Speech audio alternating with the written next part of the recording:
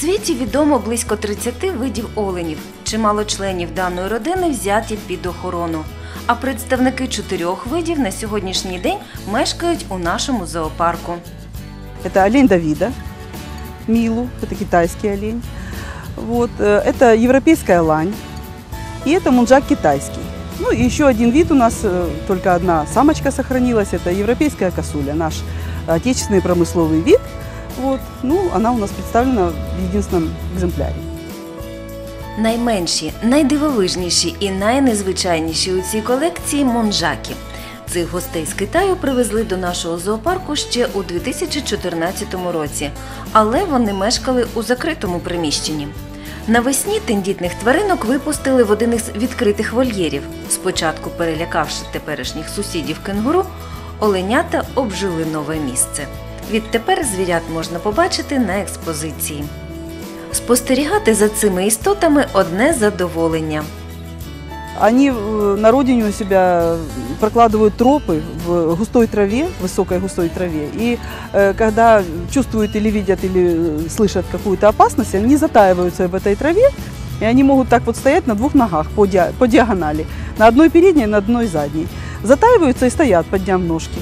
Вот. Как только какая-то опасность есть, они делают рывок, поднимают только хвостики, такой как флажок у них хвостик, они машут хвостиками и убегают от преследователя. Для грайливих оленят у вольєрі звели невеличку хатинку, щоб у ній малюки почувалися у безпеці. Тож до холодів їх можна побачити у літньому вольєрі. А цей вид довгожитель нашого зоопарку. Они жили еще на старой территории в нашем зоопарке, хорошо размножались. Э, И всегда это животное выглядит очень красиво, экспозиционно. У них очень э, в- совершенно очаровательные малыши, у них такие с яркими пятнышками, солнечными. Они как зайчики прямо разукрашены красиво. Європейські лані вважаються парковими тваринами. Зараз у колекції чотири самочки і самець. Нашего самца зовут Василек, Мурка, э, Милка, Лента, Лада. Вот такие самки у нас. І ще один герой олень Давида. Насправді унікальна тварина. Вид сохранился вообще на планете благодаря китайскому императору, который сохранил этих животных в своих китайских садах китайских императоров еще в давние века. Стихийное бедствие и э, стены дворца, стены этого сада э, нарушились, и эти олени вышли на свободу. И первым э, описал этого, это животное э, один из исследователей, э, Давид. Вот, и вот благодаря этому назван этот олень, благодаря этому исследователю Д- олень Давида. А ще їх називають мілу. І це найрідкісніший олень у світі.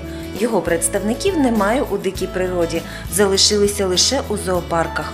У Миколаєві група цих тварин мешкає вже понад 20 років. При всій своїй милоті це доволі небезпечні істоти, які вміють постояти за себе. Про це попереджають і численні таблички на вольєрах.